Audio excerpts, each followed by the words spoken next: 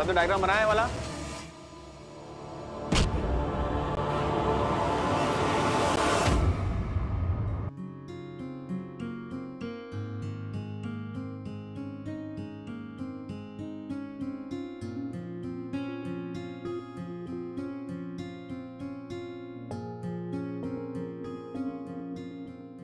may I come in sir